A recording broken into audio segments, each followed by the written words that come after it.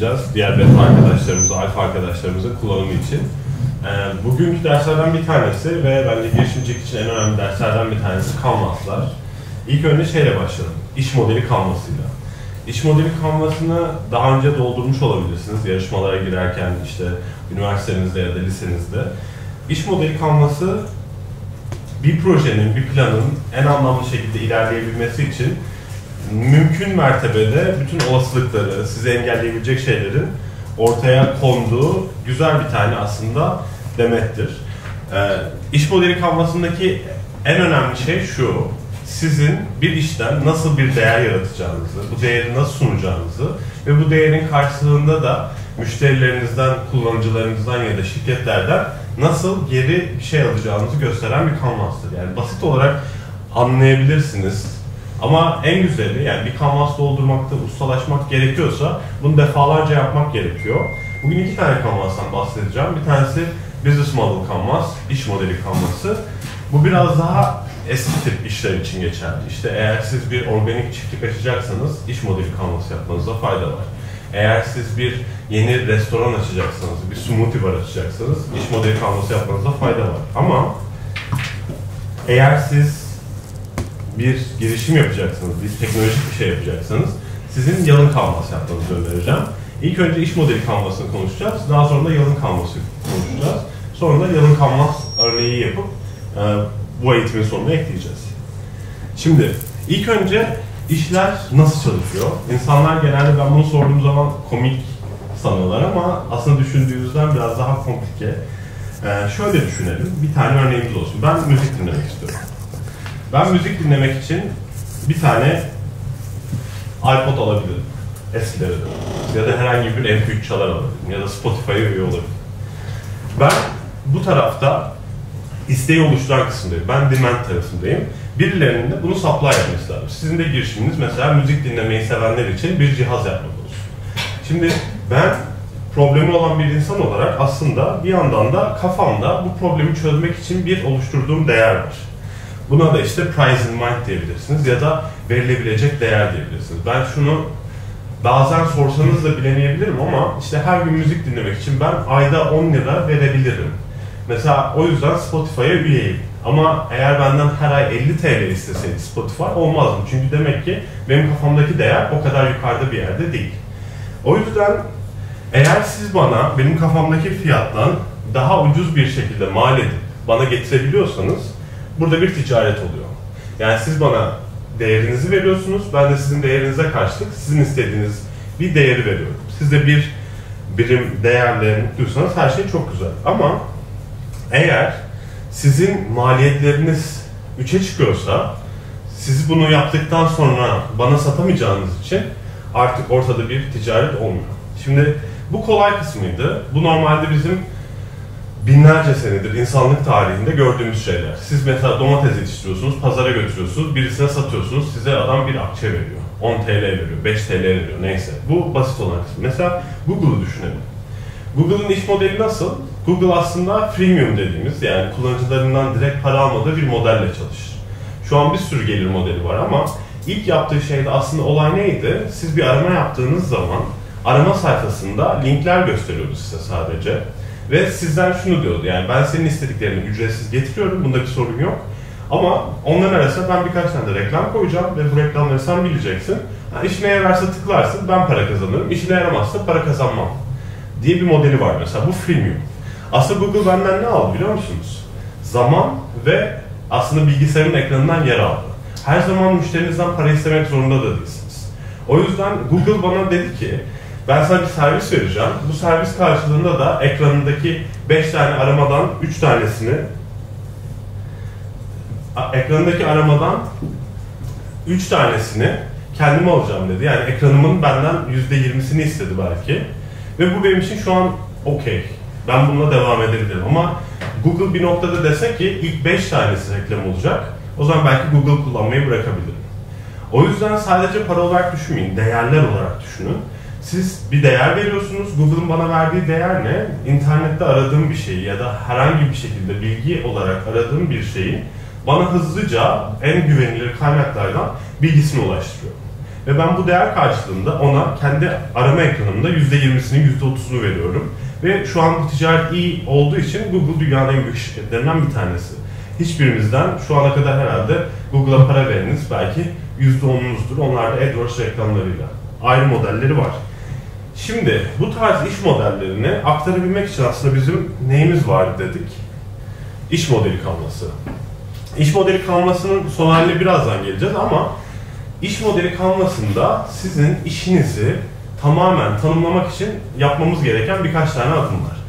Farklı şekillerde başlanabiliyor. Ben genelde en sağ taraftan başlamayı tercih ediyorum. Bununla ilgili bir tane daha video koyacağım. O videoya da bakabilirsiniz. Şimdi burası Customer Segment. Sizin müşteri kitleniz. Eğer siz bir girişimci olacaksanız her zaman müşteriyle başlayın. Tek yapmanız gereken şey bu. En önemli kişi müşteri. Siz bu canvas'ın en sağından başladığınız zaman ne diyorsunuz? Benim müşterim şu şu şu kişiler diyorsunuz. İşte ne diyebilirsiniz mesela? Üniversitede okuyan erkekler diyebilirsiniz. Böyle bir kitleniz olabilir. Bunu detaylıca anlatmanızda fayda var. Bu konuyla ilgili de persona diye bir ders daha yapacağız. Persona da girişimciliğin en kritik derslerinden bir tanesi. Bence bütün iletişimin en kritik derslerden bir tanesi. Şimdi siz müşterilerinize karar verdiniz. Daha sonra siz bu müşterilere hangi değeri vereceğinizi seçmeniz lazım. Bu da Unique Value Proposition dediğimiz, değer önerisi dediğimiz sizin girişiminizin sağladığı değer.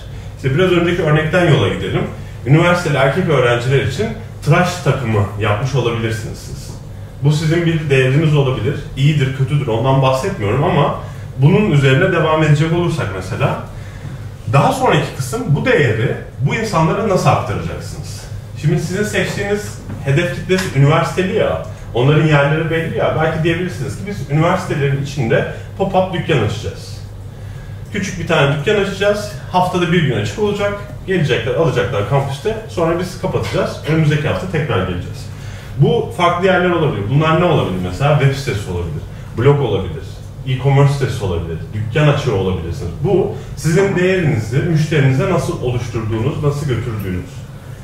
Bir de ilişki yönetiminiz var. Bu da markaların ve işlerin karar verdiği bir şeydir. Şimdi burada birkaç tane konu var. Yani bir, otomatik de satabilirsiniz. Orada hiçbir insan da olmayabilir. Bir e-commerce'dan aldığınız zaman tıklarsınız alırsınız. Muhtemelen ucuz alırsınız. Ya da mesela gerçek hayatta BİM diye bir örnek var. BİM'in dükkanı hiç güzel değildir. Özellikle de değildir. Çünkü onlar sizi dükkanda eğlendirmek için değil, size en uygun malzemeyi vermek için bu dükkanı kurduğu için hiç buraya yatırım yapmazlar. Sadece geldiğiniz zaman en ucuza ürünü alırsınız ve bu da onların verdiği bir e, değer önerisidir aslında. Ya da başka bir şeyden bahsedelim. İşte pahalı markaların birçoğu size ömür boyu garanti verir. Tekstilde bile olsa. Siz bir gömlek alırsınız. Bu aldığınız gömlek 450-500 TL'dir. Gömleğiniz yırtılır, ücretsiz dikerler. Bu da bir ilişki modelidir. İşte ne bileyim şu an birçok e-ticaret sitesi var işte kapalı pazarlar olarak. Bunlar ne yapıyorlar? Ücretsiz iade ediyorlar. Bu da bir ilişki tipi. Ama bunların hepsi sizin değer önerinizle birlikte. Eğer siz mesela pahalı, büyük bir değer verecekseniz insanlara ilişkiniz de o kadar iyi olmalı ki aslında 360 derecede kendi değerinizi kapatabilin. Bu taraf hep siz ve müşterinizle alakalı olan kısım. Yani burası şirketinizin görünür tarafı. O yüzden de sizin buradan beklediğiniz ne? Para. Sağ alt kısmı da gelir modeli oluyor. Gelir modeli dediğim gibi Google'ın örneğinde freemium'du. Bir sürü iş modellerinden de daha sonra bahsedeceğiz. İş modelleri de çok çeşitli olabilir. Bizim burada biraz önceki örneğimizde neydi? Tıraş seti satmaktı. Gelir kalemimiz ne olacak muhtemelen? Tıraş bıçağından kazanacağımız para olacak. Belki ne yapabiliriz? Aksesuar da satabiliriz. Aksesuar ne? Tıraş köpüğü olabilir. Ya da işte eğer işlerimiz iyi gidiyorsa ürün gamını yavaş yavaş geliştirebiliriz. Ee, ya da içeriye berber de açabilirsiniz. Yani bir günlük açtığınız yerde tıraş bıçağı da satabilirsiniz. Dersiniz ki zaten biz oraya gidiyoruz. Gitmişken tıraş da edelim diyebilirsiniz. O zaman da ekstra bir servis daha koyabilirsiniz içine. Bu tamamen sizin iş modelinizin nasıl paralar kazanacağı ya da kazanabileceği ile ilgili yaptığınız brainstormları yazdığınız yer. Şimdi diğer tarafa gidiyoruz. Burası key resources. Burası sizin öz kaynaklarınız diyeceğiniz yer. Siz böyle bir iş yapmak isterseniz sizin ne tarz kaynaklara ihtiyacınız olacak? Şimdi sizin bir kere tıraş bıçağı almanız gerekecek. Belki oradaki metale plastiğe ihtiyacınız var. Ee, eğer siz haftada bir dükkan açacaksanız Belki öyle bir tane geçici dükkana ihtiyacınız var. Yani koyulabilir, taşınabilir bir yere. E, muhtemelen de insanlara ihtiyacınız var kasada dursun diye ya da işte biraz önce tıraş yapsın diye bir modelden bahsettik. Tıraş yapacak insana ihtiyacınız var. Daha sonra da Key Activities kısmı geliyor. Key Activities senin şirketin aslında ne iş yapıyor? Yani sen masa başında otururken ne işler yapacaksın sen? Sen gidip mesela ya tıraş bıçağı ürettireceksin birilerine ya hazır olarak bir yerden alacaksın işte Çin'den, Hindistan'dan nereden alacaksan tıraş bıçağı alacaksın. Eğer sen tıraş hizmeti vereceksen tıraş yapacak insanlara eğitim hizmeti vermen gerekiyor ki müşterilerinin yüzünü kesmesinler. İşte eğer sen e-ticaretten de satacaksan mesela dijital pazarlama işi yapman gerekiyor. Yani şirketin seçtiği iş modeline göre merkez ofiste insanların yaptığı günlük işler değişiyor. Hani şeyi çok duyarsınız işte insan kaynakları direktörü, pazarlama direktörü, satış direktörü. Bunların her biri aslında işle alakalı çok önemli bilgi verir. Mesela bazı şirketlerde kıdemli satış direktörü vardır, pazarlama direktörü normal direktördür. Bu aslında neyin göstergesidir? Bu şirket ağırlıklı satış yapar, aslında pazarlama yapmaz. Eğer böyle bir şey varsa sizin de içeride buna göre yetkinlikler oluşturmanız lazım. Yani eğer siz daha çok parayı tıraş yapmaktan kazanacağınızı varsayıyorsanız sizin iyi bir tıraş eğitmenine ihtiyacınız var. Ve bunun sürekli olması için de yavaş yavaş oralarda aslında süreçlerinizi oturtmanız lazım. Eğer siz paranızı dijital pazarlamadan kazanacağım diyorsanız o zaman da dijital pazarlama ekibinizin daha güçlü, daha sürdürülebilir, daha mantıklı olmasına ihtiyacınız var. Key Partners, siz iş yaparken kimlere ihtiyacınız var ve bu adamlar masaya geldiğinde size nasıl faydalı olur konusu. Şimdi biz zaten ne dedik? Üniversiteler dedik. O yüzden sizin bütün üniversitelerle güzel ilişkilerinizin olması lazım. Belki onlardan izin almanız lazım. Ee, belki de onlara bir para ödeyerek girmeniz lazım. Zaten eğer bunlar olmazsa hiçbir şekilde olmaz. Eğer siz mesela içeride tıraş yaptıracaksanız insanları muhtemelen berberler odasına da ihtiyacınız var. Berberler odasının izni olmadan tıraş yapıyor olmanız muhtemelen onlar size dava vesaire açabilir. O yüzden onlarla görüşmeniz gereken bir yerde orası düzenleme için gerekiyor. Bu tarafta aslında sizin şirketinizin içinde dönenler. Bunları müşteriler daha az bilir. Bunları müşteriler daha az bildiği için de bunlar da aslında maliyet tarafıdır. Siz bir mal alırsınız, siz bir iş yaptırırsınız, siz bir ürün ürettirirsiniz. Bunların her biri size maliyet olarak yazar.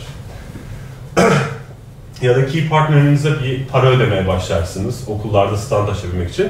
Bunların hepsi sizin en sonunda kaybedeceğiniz paradır. Şimdi siz bunları bir kere yazdıktan sonra olay nedir? Burada bir gelir var, burada bir gider var.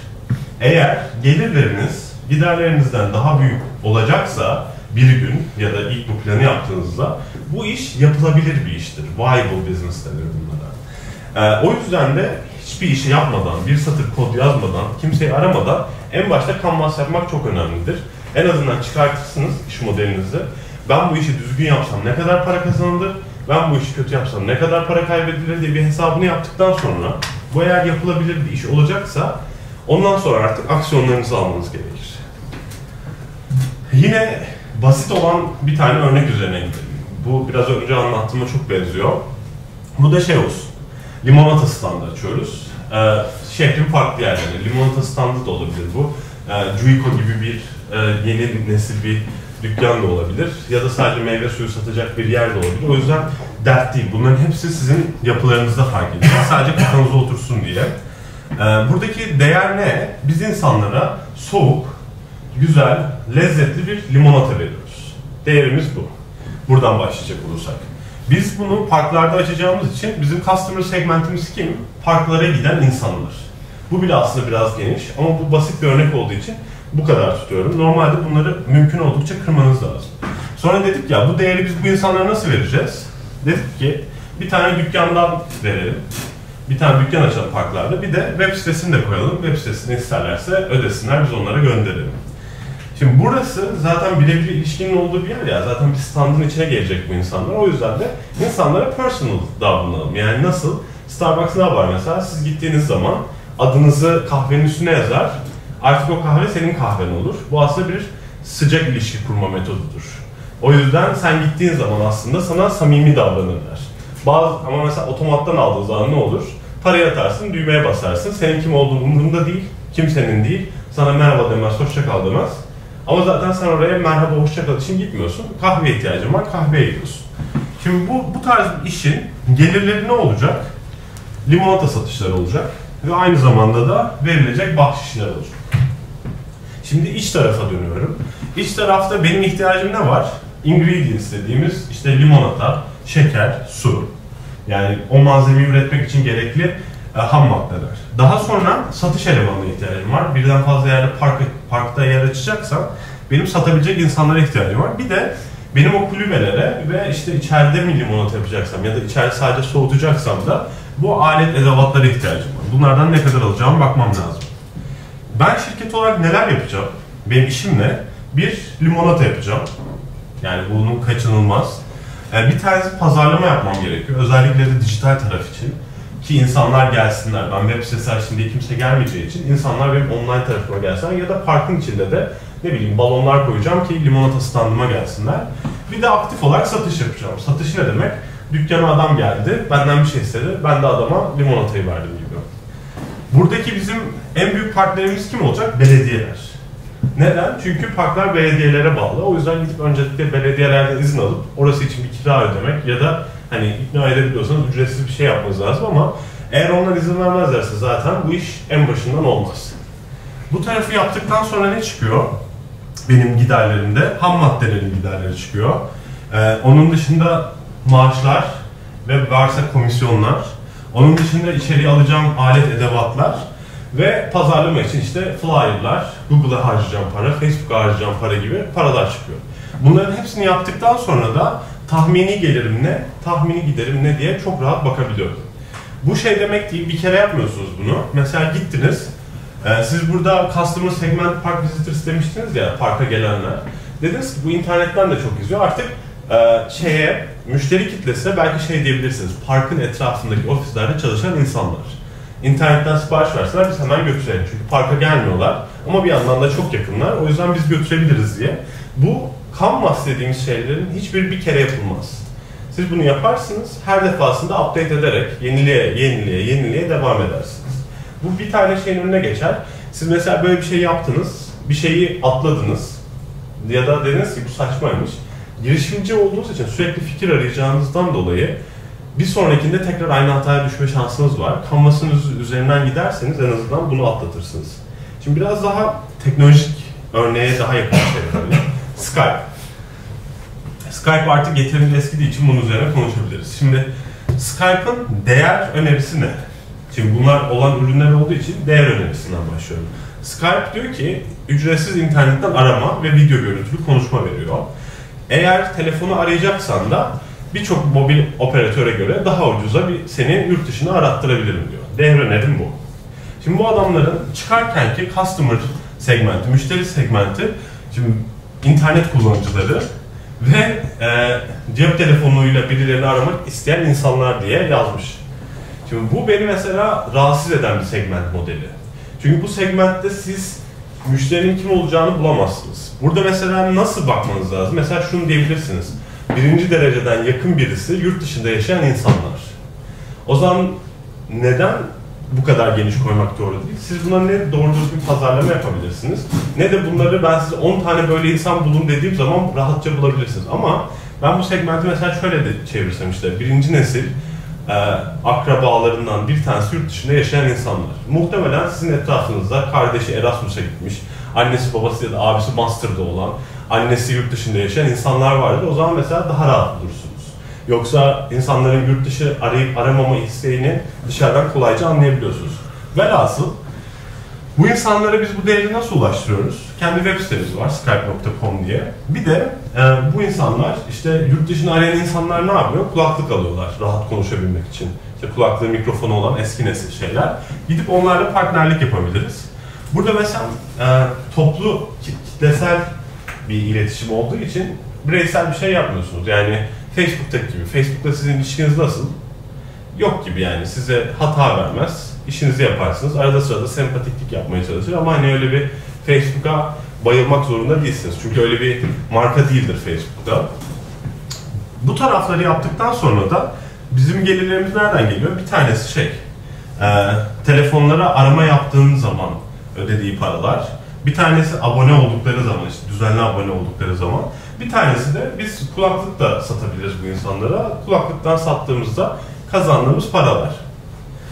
Şeye geldiğinizde bizim işte ilk önce key resource'umuz ne? Bu şirket ne var? Bizim şirketin yazılımcılara ihtiyacı var çünkü bu bir yazılım ürünü. Onun dışında da bir yazılıma da ihtiyacımız var kullanabilmek için. Aktivite olarak da yazılım geliştirmek en büyük şeylerden bir tanesi. Aslında pazarlama büyük şeylerden bir tanesi. Ee, onun dışında da işte partnerlik yapacaksak iş geliştirme belki işlerden bir tanesi. Ee, bunun dışında da benim partnerlerim kim olacak? Şimdi ben ödemeyi alabilmek için bir ödeme sistemiyle partner olmam gerekiyor. Ben bunu kulaklıklara basabilmek ya da yurt dışına dağıtabilmek için bir tane dağıtım partnerimin olması gerekiyor. Bir de telefonları arayabilmem için de mobil bir partnerimin olması gerekiyor. Bunları sağlayamazsam zaten bu işi yapamam. Bu tarafta benim paramın gittiği yerler, mesela buraya ne koymuşlar yine? Yazılım geliştirme. Önemlilerinden bir tanesi. Complaint management yani siz bir servis verdiğiniz için insanlar şikayetçi de olacak. Bu insanların şikayetini almanız lazım. Çünkü kitlesel davrandığınız bir ürününüz var. Ee, nasıl gidiyor? Anlaşılır gidiyor mu Canvas kısmı?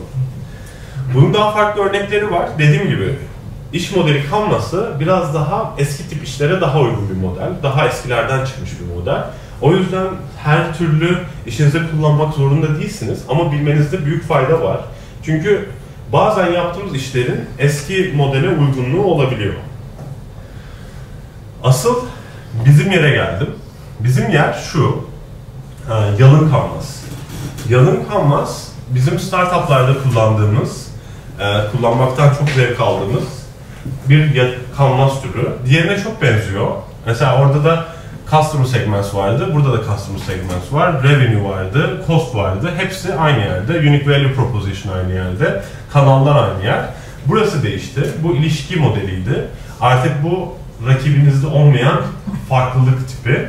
Burası eskiden aktivitelerindi. Şimdi artık key metrikleri yani senin işindeki önemli olan takip etmen gereken sayılar neresi?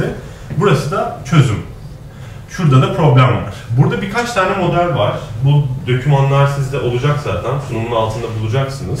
ee, bunu yapmanın yolu şu. Siz burada probleminizden başlıyorsunuz. Gördüğünüz problemdir. Üç tane problem yazılıyor. Bu üç tane problemi yazdıktan sonra bu problemi hangi insanlar yaşıyor diye customer segment'e yazıyorsunuz. Bunları da yazdıktan sonra da bu insanlara ben ne sunsam diyorsunuz. Benim bir problemim var. Bu problemi benim gibi insanların problemini çözebilmek için ne yapmak lazım? Onları da buraya yazıyorsunuz.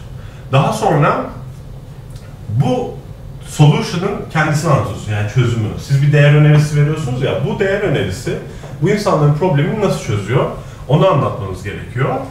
Daha sonra biraz karışık gidiyor burası. Bu insanlara bu çözümü nasıl ulaştıracağız? Altında var bu arada merak etmeyin. Yani sırası yazıyor. Daha sonra biz bu insanlara bu değeri nasıl e, göndereceğiz? Onu yazıyorsunuz. Şuraya kadar zaten ne yaptık? Problemi belirledik. İnsanlara göre bir çözüm belirledik ve insanlara çözümü gönderdik. Yani artık burası ne? Bizim e, gelir tarafımız. Artık biz bu insanlara ne vereceğimizi biliyoruz. Daha sonra ne yapacağız? biz bu revenue ile birlikte bir tane gider yapısı yapacağız. Çünkü bizim burada artık giderlerimiz şey değil. Çoğunlukla insan parası yani maaşlar değil. Burada artık bir kulübe tutmak falan çok fazla olmadığı için bu çözümü verirken bir de gider yapısını yapabiliyorsunuz. Bunu yaptıktan sonra sizin işinizde takip etmeniz gereken rakamlar hangileri? Bu da insanlara kolay gibi geliyor ama biraz zor. Yani en başta biraz çalışmanız, anlamanız gerekiyor. Mesela sizin Uber gibi bir tane girişiminiz olsun. Tamam mı? Uber aslında nedir? Bir pazar yeridir. Pazar yerinden kastım nedir? Birileri insanları gezdirmek ister, bir yerden bir yere götürmek ister. Bazı insanlar da bir yerden bir yere gitmek ister. O yüzden Uber bunları birleştirir, aynı yerde tutar. Öyle olduğu zaman da ne olur? Bir ticaret olur. Değil mi? Şimdi mesela Uber gibi bir çözümünüz varsa, pazar yeriniz varsa pazar yerindeki en mantıklı stratejilerden bir tanesi siz arzı mı kontrol ediyorsunuz yoksa talebi mi? Yani birileri gezmek istiyor, bunlar mı size daha yakın yoksa sizin etrafınızda şoförler mi var? Eğer ikisi birden yoksa pazar yeri yapmak sizin için uygun bir yer değil. Normalde bir tarafı kontrol ederek başlamanız lazım. Uber ne tarafı kontrol ediyor? Şoförleri. Neden? Bir sürü filosu sahibi insan var. siz oradan Uber'den şey demiyorsunuz mesela Kaan şoför olarak gelsin demiyorsunuz. Bana birisi gelsin diyorsunuz. Uber de size en yakın, en doğru insanı atamaya çalışıyor. Burada mesela takip etmeniz gereken metrikler neler olurdu? Şeylerinizin olması gerek tabii. Kaç tane şoförüm var? Benim kaç tane aktif kullanıcım var? Bunlar kalacak şeylerden bir tanesi. Ama daha önemli metriklerden bir tanesi bu insanlar çağrı yaptığında mesela 2 kilometre etrafında kaç tane şoför vardı? Çünkü siz böyle bir metreyi bilirseniz eğer şunu bilirsiniz. Benim daha fazla şoföre ihtiyacım var ya da işte bu insanlara ben daha geniş bir alanda şoför bulmaya çalışayım. Orası da anlamlı mı anlamsız mı onu bulmak lazım. Yani kaç şoförüm var, kaç tane e, kullanıcım var çok basit bir metrik. Sizin daha komplike ve sizin işinizi gösteren metriklere ihtiyacınız var. Şundan dolayı diyorum. Mesela şöyle düşünün. Benim 100 tane şoförüm var, 100 tane de kullanıcım var. Ben sizce para kazanıyor muyum? Kazanıyor da olabilirim, kazanmıyor da olabilirim. Çünkü benim şoförlerim farklı şehirlerde de olabilir. Kullanıcılarım aynı yerde de olmayabilir. Ya da benim şoförlerim akşam uygundur, benim kullanıcılarım sabah uygundur. O yüzden bazı metrikler en başta insana şey gibi geliyor. Bu işin nasıl yapıldığını, doğru mu yanlış mı olduğunu gösterir gibi geliyor. Ama aslında hiç alakası yok. O yüzden de daha akıllı metriklerden bahsedeceğiz burada. O yüzden ayrı bir tane derste de sadece sizin iş modelinize göre ne tarz metrikler konuşmanız gerektiğini söyleyeceğim. Ee, burada dolu bir tane örneği var ama ben şey yapmak istiyorum. Bir tane gerçek bir case alıp bu case üzerinden bir tane lean canvas dolduralım istiyorum. Şimdilik Canvas dersimiz bu kadar. Çok teşekkür ederiz.